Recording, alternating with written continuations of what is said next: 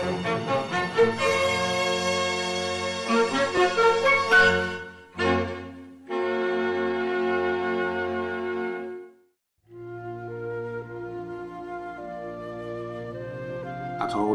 بهمنش ورزشکار مدیر ورزشی خبرنگار و روزنامه‌نگار ورزشی در 24 فروردین سال 1302 در شهر کرمانشاه به دنیا.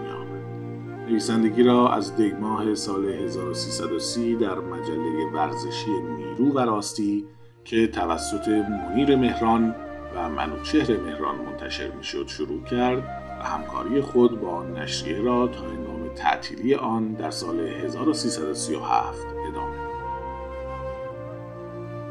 بهمنش در سالهای 1333 تا 1337 در نشریه امید ایران نیز می نوشت و پس از آن نیز از نویسندگان اصلی هفته نامه کیهان ورزشی به شمار می همچنین با نشریاتی چون روزنامه اطلاعات، گلباند، روزنامه ری و ایران ورزشی همکاری داشت.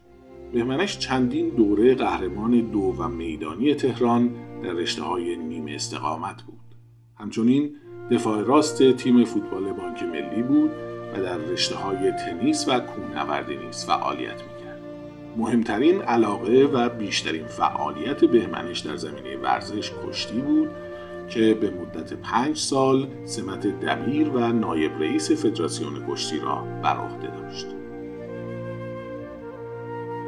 او نخستین گزارش زنده ورزشی در ایران از رادیو را در سال 1337 برای رقابت دو و میدانی میان تیم‌های ایران و عراق از صدای ایران انجام داد. بهمنش پس از انقلاب سال 57 از رادیو و تلویزیون کنار گذاشته شد و پس از آن نیز با درخواست بازگشت به کار موافقت نکرد.